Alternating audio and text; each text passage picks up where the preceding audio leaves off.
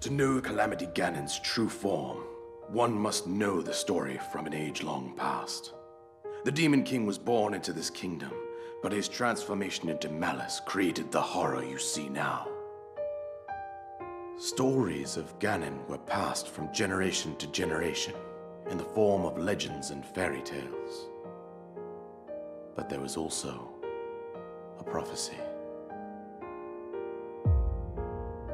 The signs of a resurrection of Calamity Ganon are clear, and the power to oppose it lies dormant beneath the ground.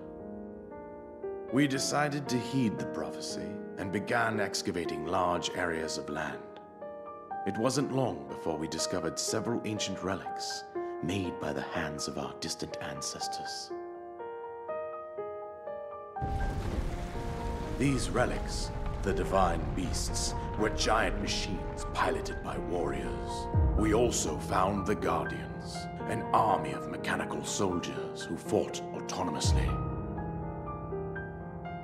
This coincided with ancient legends, oft repeated throughout our land.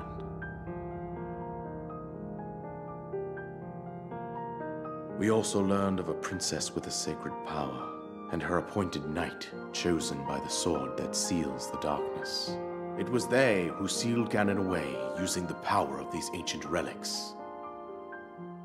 100 years ago, there was a princess set to inherit a sacred power and a skilled knight at her side. It was clear that we must follow our ancestors' path. We selected four skilled individuals from across Hyrule and tasked them with the duty of piloting the divine beasts.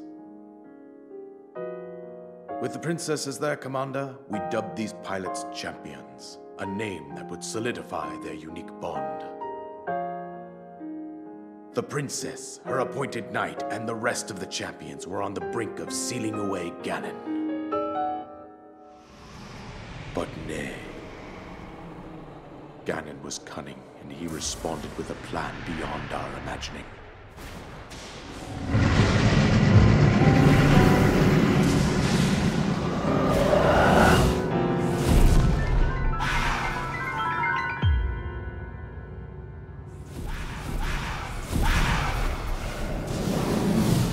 He appeared from deep below Hyrule Castle, seized control of the Guardians and the Divine Beasts, against us.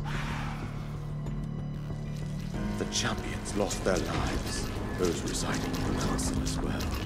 The appointed knight, gravely wounded, collapsed while defending the princess.